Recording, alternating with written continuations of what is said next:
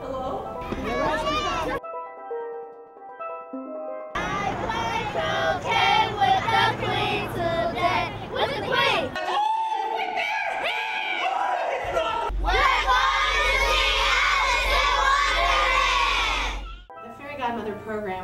Started to honor an actress named Ginny Hoffman, who I had the honor of working with quite a bit when I was a young actor here at ETC. And she played the fairy godmother in the very first ever holiday show at ETC. She was funny, she was smart, she was beautiful, both inside and out, and tremendously talented. She was extraordinary. And we lost her way too early. She was diagnosed with ovarian cancer. She only lived about six months after the diagnosis. So it was a terrible loss uh, to everybody who knew her and a terrible loss for ETC because she was one of its founding company members. So the founding artistic director, David White, had a remarkable idea, which was that in her honor, we would always have a fairy godmother performance or two, something to celebrate Ginny's memory in a lasting way. And so to be able to honor her every year uh, through this programming is very special. So that's what we do. We remember.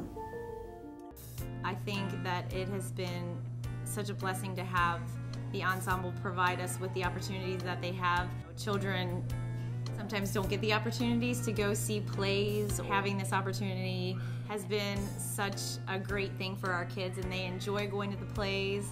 They talk about it when they come back. You can see their smiles, you can feel their energy, you can notice that they're sitting on the edges of their seats and who can't try and give their very best to that kind of audience and that kind of love that's coming at you. It gives them an opportunity to make them think that maybe this is something that they could achieve and that they can do.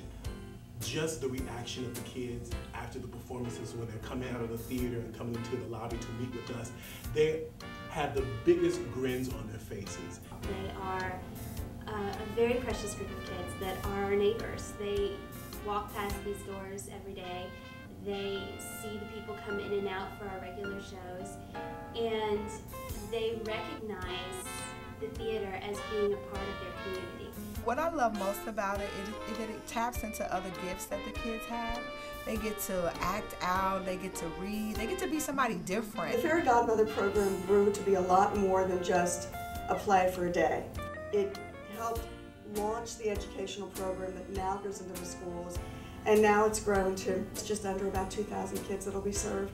I love being able to, to introduce those kids to this place and to this part of their community and this part of their city. It's mind-blowing. It has just been, it's been really great.